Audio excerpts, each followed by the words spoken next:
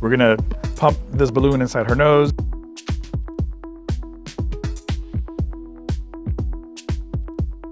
All right, so then test it.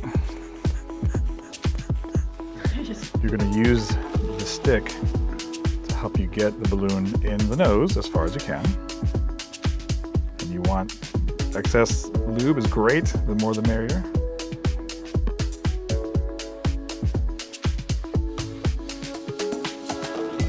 And then you're gonna do three pumps, really without warning, okay? So close the valve.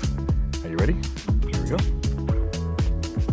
And then you let go of the, okay. Yeah, there's no reason to leave it in there, okay? If you hear any crackling, Oh yeah. so you're gonna hear crackling, and that's okay. And then you would do the other side. Holy. Get into it, let's get started, and I will help you as we go along, okay?